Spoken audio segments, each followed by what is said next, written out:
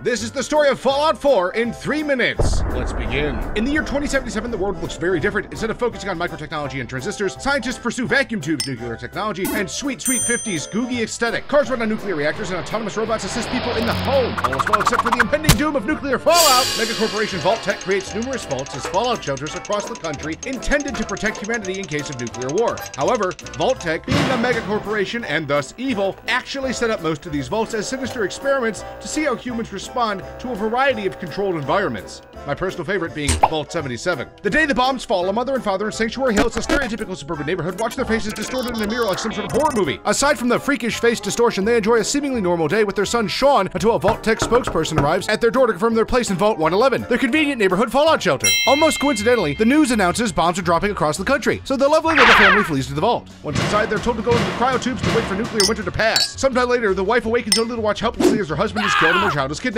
She, the sole survivor, falls back into cryostasis. Eventually, she snaps out of cryosleep to find everyone else in the vault died due to technical failure. Alone, she sets out to track down her husband's killer. The sole survivor finds Codsworth, the family's old robotic assistant, who informs her she's been gone for over 200 years. The ruins of what was once New England are now known as the Commonwealth. After coming to terms with being asleep for two centuries, she sets off for Concord in search of more survivors. She saves everyone's favorite good boy Dogmeat, as well as Preston Garvey, the last of the Minutemen. The sole survivor sets off for Diamond City, a town formed out of the ruins of Fenway Park. She learns of the Institute, a secret organization that creates synths, synthetic robots virtually identical to humans. The Institute is said to be replacing humans throughout the Commonwealth. They seek out Detective Nick Valentine, who is apparently one of the first models of synths created. Nick agrees to help the sole survivor find her son. They track down Conrad Kellogg, the man who kidnapped Sean. They kill Kellogg and steal his cybernetic implant. They use the implant to switch through his memories, revealing Sean is at the Institute. Several factions reveal themselves. The Brotherhood of Steel, the anti-synth organization focused on recovering old world tech, and the Railroad, a pro-synth organization dedicated to giving rescued synths new lives. The sole survivor seeks out an ex-Institute scientist turned super mutant who guides her into the Institute. She works with the Railroad to decode the teleportation code with one of the factions to build a teleporter. After some science fiction bullshit,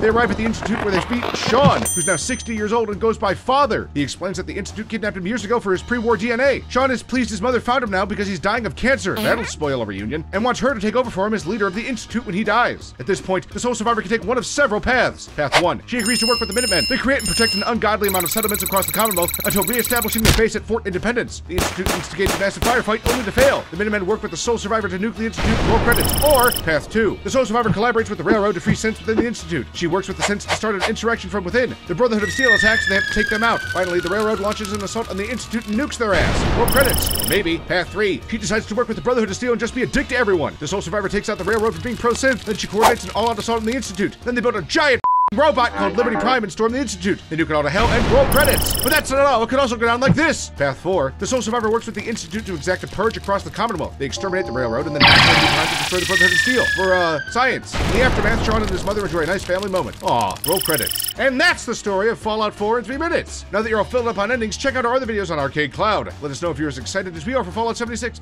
and tell us what other stories you'd like to see in 3 minutes in the comments below. Goodbye.